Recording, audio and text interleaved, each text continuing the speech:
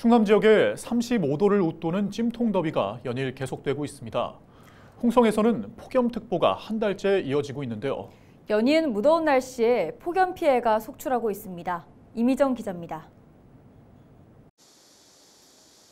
푹푹 찌는 무더위 속 가벼운 옷차림의 시민들이 부채질을 해댑니다. 따가운 햇빛을 피하기 위해 양산을 쓰거나 냉방시설을 갖춘 버스 승강장에서 열을 식히는 시민들이 눈에 띕니다.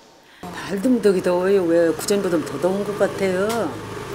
아 그래서 힘들어요. 나오면 힘들다고 집에 있으면 괜찮은데 뭐 사러 왔는데 이제 이렇게 더운 거야 그냥.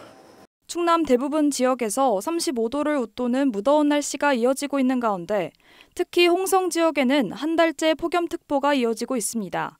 상황이 이렇다 보니 폭염에 따른 피해가 속출하고 있습니다. 19일 기준 충남 지역의 온열 질환자 수는 179명, 이 중 3명이 사망했습니다. 양식장 피해도 잇따라 발생했습니다. 천수만 양식장 26곳에서 우럭 55만여 마리가 폐사했습니다. 작년 이맘때 기준으로 거의 온열 질환자는 비슷하고요.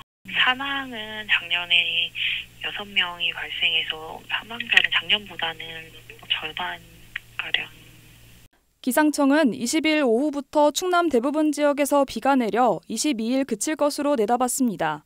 다만 비가 그친 뒤에도 당분간 더위가 이어질 것으로 전망했습니다. 제9호 태풍 정다리가 우리나라 부근으로 접근해 오고 있는데요. 태풍의 강도가 약하기 때문에 태풍이 지난 후에도 우리나라 부근의 기온은 크게 낮아질 것 같지는 않습니다. 계속되는 기록적인 폭염에 온열 질환 피해가 잇따르고 있는 상황. 기상청은 당분간 더위가 계속될 것으로 예상되는 만큼 피해 예방을 위해 야외 활동을 자제하고 수분을 충분히 섭취해달라고 강조했습니다. 또 영유아나 노약자, 만성 질환자는 외출을 자제해달라고 당부했습니다.